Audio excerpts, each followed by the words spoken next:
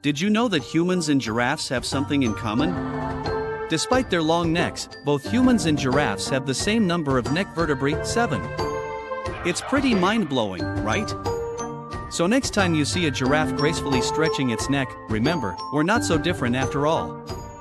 Nature has its way of surprising us. Stay curious, my friends.